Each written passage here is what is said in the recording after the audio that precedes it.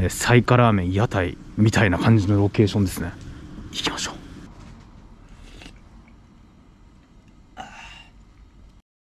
すする TV!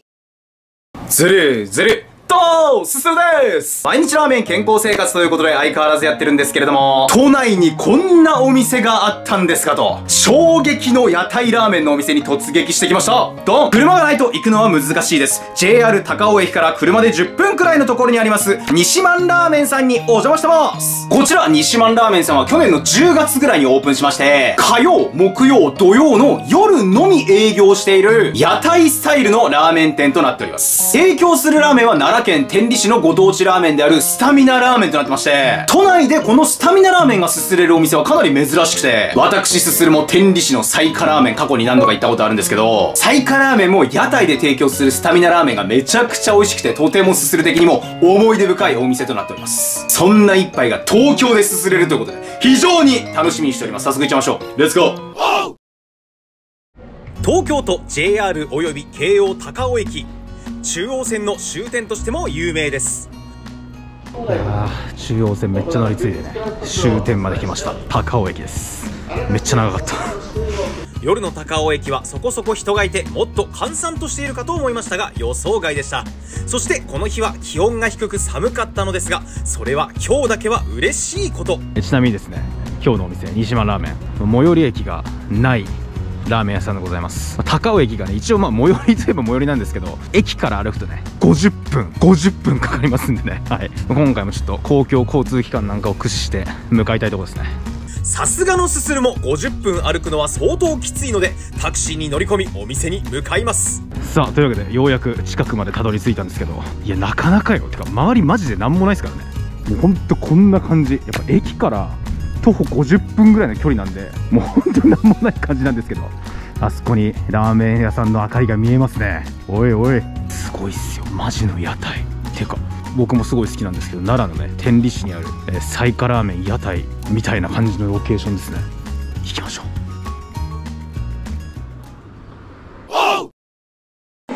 西湾ラーメンさん。注文記入せです。今回はスタミナラーメン中盛りとチャーシュー。生卵さらにネギチャー丼小もお願いしました。注文したいメニューを記入したら用紙をワゴンに持っていきます。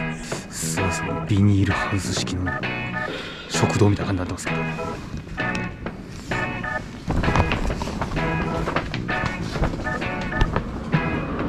ここで、まあ、調味料とかとかレンゲ割りはしたもセルフですね。レンゲと割り箸をセルフで確保し一度は T シャツになりましたがいくらビニールで覆われているといえど外なので寒すぎて断念。この寒い外のロケーションであったかいスタミナラーメンすれるのめちゃくちゃ嬉しい本当。ストーブで温まりつつ早く温かいラーメンをすすりたいなと思いながら待ってるなこちらが西満ラーメンさんのスタミナラーメン中とチャーシューと生卵ネギチャ丼ですいやっほい。たっぷりな白菜とスタミナ感あふれるスープがもう最高。大判なチャーシューもブランケットのように覆いかぶさってるぞってことでいただきます。ではまずスープから。うめい。ふんわりと漂うニンニクの香りにベースとなる鶏ガラスープの旨味がビシッと味覚を刺激。一瞬で奈良へとトリップすることができ気づけば周りは鹿の群れ。外気温との寒暖差もうまさをアップさせ全体の雰囲気そして味全てが最高です。天理ラーメン。天理ラーメンは奈良県天理市のご当地ラーメンで代表的なお店としては以前すするも伺ったことのあるサイカさんと天理スタミナラーメンさんがあります。天理ラーメンのスープは鶏ガラなどをベースとしたピリ辛の醤油味でそこに白菜や豚肉、ニラなどのスタミナトッピングが乗るのが特徴です。都内ではあまり馴染みのないラーメンではありますが、そのソウルフード的味わいから奈良県天理市では人気のご当地ラーメンとなっています。さあお次は麺をリフトアップさせたならば12のスズルなはん。至ってノーマルな麺ではありますがこのスープにはピタッとはまるナイスな麺飾らないうまさでスープやスタミナ具材と絡みもはや気づけば m 1グランプリ2003年度笑い飯のネタにトリップ。白菜ニラ豚肉などのスタミナラーメン標準装備もバッチリ完備されており野菜の甘みなどがスープに溶け込みいろんな味がする。何よりこのキャンプともバーベキューとも違う外屋台ラーメンというロケーションがラーメン好きの心をくすぐりまくってくれます。さていよいよここで生卵の登場早速溶いて麺を絡めてすすってみましょう。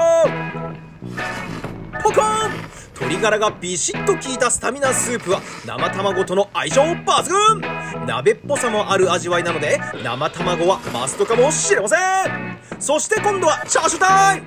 かなり大判ですがガブリと一口で食らってみれば柔らかく脂身ジューシーで大判ながら薄切りなので食べやすさもありんす。思わず紹介する前にネギチャー丼を書き込んでしまいました。さあこちらがネギチャー丼刻みチャーシューとネギをタレに絡ませた激うま確定の丼。ご覧の通りゴリゴリに買い込んじゃってます。てな感じでその後もガンガン食らっちゃってスープと合わせてもマジカルビビそれによって食欲は完全に解放され麺のすすりも盛んになっていく。生卵も忘れずに絡めすすって黒ウーロン茶もグビグビ飲んじゃいます。白菜たっぷりなのも野菜好きとしては嬉しい限りでネギチャー丼も爆食街道まっしぐら。最後はなんと生卵をスープに投入するという偉業を成し遂げグビグビ飲んで開飲本日も完食です。大変美味しくすすれました。車がないと訪問ハードルは高くなりますが寒い冬のうちにぜひ行ってみてはいかがでしょうか。それではご失礼食器戻すとかともねセルフなんで。しっかりと片付けてから帰りましょう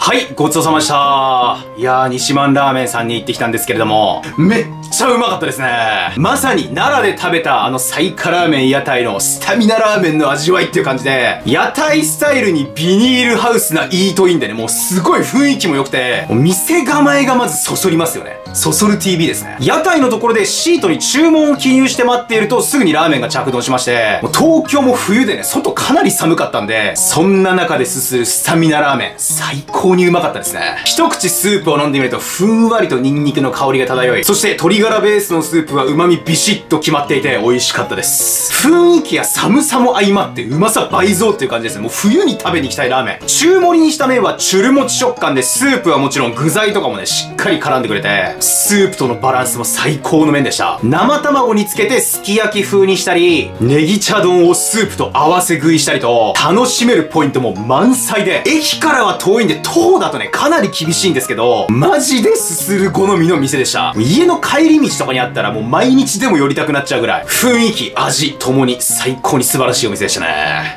営業している人、営業時間は結構短めなので、そこだけね、訪問する際にはご注意くださいということで、ごちそうさまでした。それではするの公式キャッチフレーズ、西満ラーメンさん、東京の奈良屋、サイカラーメンもまた行きたいですね。